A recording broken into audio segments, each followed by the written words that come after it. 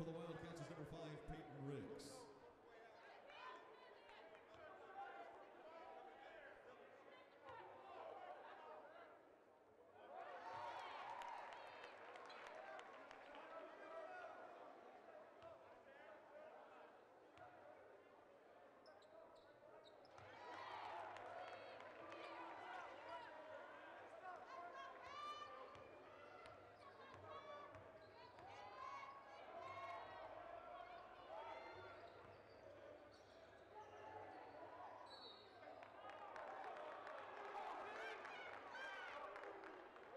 Fouls on the Wildcats, number zero, Jaylen Franklin. His first foul, team third foul.